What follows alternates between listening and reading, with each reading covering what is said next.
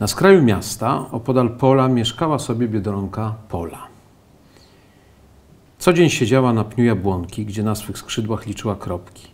Pewnego ranka, na pniu tym samym, widząc biedronkę Polę samotną, usiadł wróbelek uradowany, ćwierkając przy tym magicznie głośno.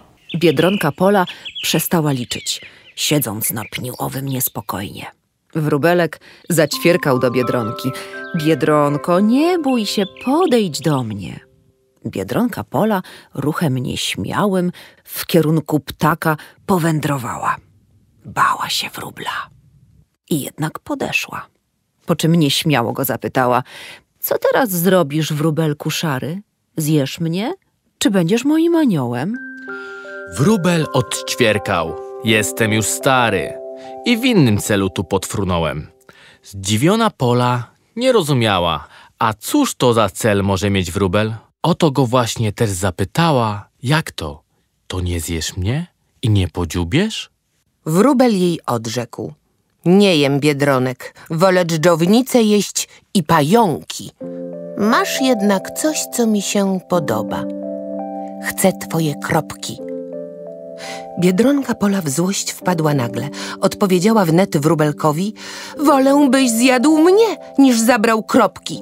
Bez kropek będę jak... dzień bez słońca. Wróbel zamilknął, przestał też ćwierkać. Patrząc na polę, przewracał dziobem. Pola, podniósłszy do góry skrzydła, biegała wściekła w tę i z powrotem. Wróbelek szary się zdenerwował. Biedronkę polę zaszantażował. Oddasz mi kropki, albo zjem ciebie.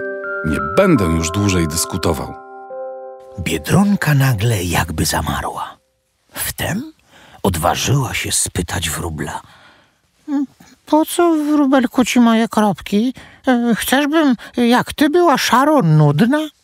Wróbelek zamilkł znów, by pomyśleć, "Hm, po co właściwie mu poli kropki. Gubiąc się w pustym wirze przemyśleń, nie nasuwały się żadne wnioski. Myślał i myślał, popatrzył w niebo, później na pole z miną kogucią. Nagle odleciał nie zaćwierkawszy, jakby po prostu było mu głupio. Biedronka pola, odtąd spokojna, ciągle wpatruje się w kropki swoje, lecz już nie na pniu, a pod konarem, gdzie może podziwiać je ze spokojem. Pamiętaj zatem zimą i w lecie. Nigdy nie sięgaj po to, co nie twoje.